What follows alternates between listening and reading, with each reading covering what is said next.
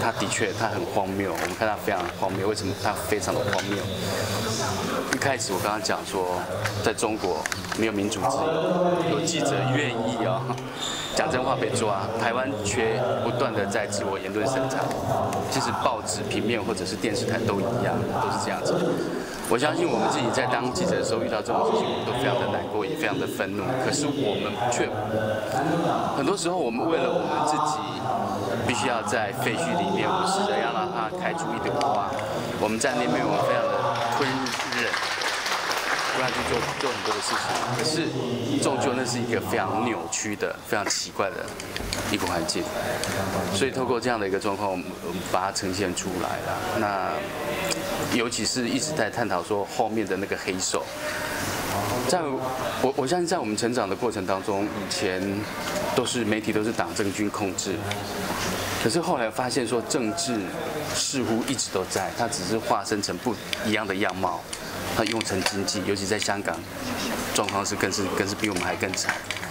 所以这部片子其实我最主要的是要把它映照到台湾整个媒体的环境，目的是这个样子。啊，你刚刚讲说最近被一些被迫说我不是台独，应该就是在讲代理人的事件。那你对于他这个事件，对会会对于他有什么？其其实我。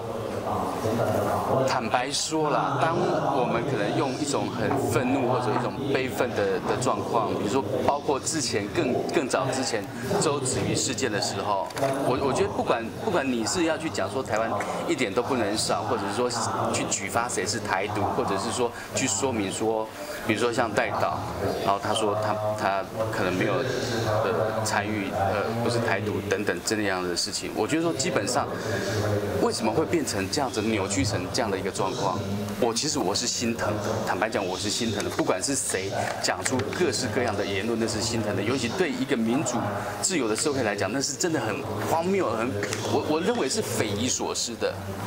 我们都一直在追求什么？我我们台湾最引以为傲的不就是自由吗？可是我们现在回回想，我们现在竟然是有那么多的外力干预，那只黑手不断的要求你去表态，你要为了要生存，然后你就必须要做什么事情？你不觉得那个就是有一个人在刑场上面，然后逼迫你去做你一个极不愿意做的事情，甚至是，然后否则的话我就要杀人，让你没有办法生存的道理是一样的。我觉得就如同我刚刚讲。的，当我们看到季安在欺负大雄，我们看到的这件事情，我们都没有任何的反应。我们想说，哎，大雄你怎么会讲这种话？你不应该讲这种话。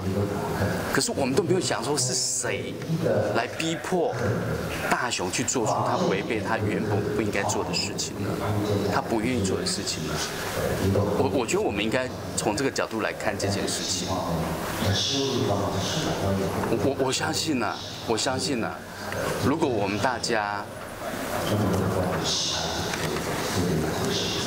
都能够团结起来，说既然你讲的对，季安以后就没有话再欺负大雄，我每一个人都不会是大雄。